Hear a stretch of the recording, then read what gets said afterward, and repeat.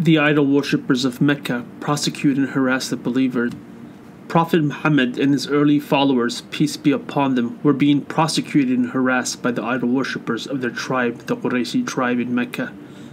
The idol worshippers would degrade them, scoff at them, and ridicule them. They would call Prophet Muhammad a madman, a liar, a sorcerer, a magician, and one that is possessed by a jinn. They would prevent Prophet Muhammad and the Muslims from praying in Allah's sacred house, the Kaaba, and they would cover them in dirt and filth when praying. They couldn't kill Prophet Muhammad personally as he was the grandson of Abdul Muttalib, who was amongst the elites of the tribe of Banu Hashim, and it was a strict custom and a law of theirs to protect noble blood. Despite all the ridicule, Prophet Muhammad continued to preach and teach the message of Islam to the Arabs of Mecca in a gentle manner.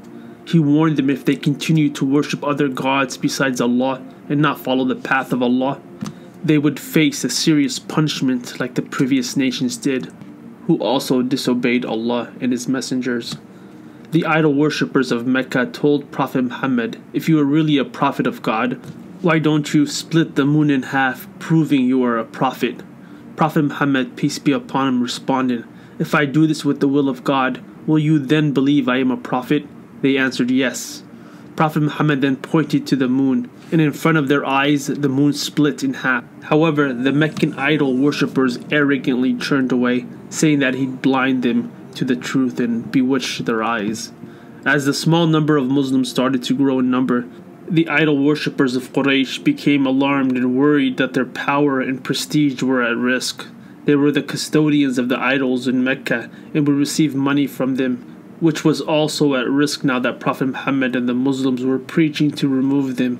The non believers offered Prophet Muhammad money, honor, and a high rank as a leader in an attempt to stop him from spreading Islam, which of course he rejected. He was not interested in any of that and only wanted to spread Allah's message to the people. The people of Quraysh plotted to stop Muslims from growing by organizing a full scale opposition campaign. They tortured their family members that accepted Islam as their religion and way of life. When the prosecution by the people of Quraysh grew more severe and unbearable, some of the Muslims decided to migrate to Abyssinia, Ethiopia, to seek refuge in the kingdom of the Christian king of Abyssinia who was a fair and righteous king that would welcome the Muslims. This was also known as the first Hijrah, migration of the Muslims. Later, more Muslims who were being harassed would join them.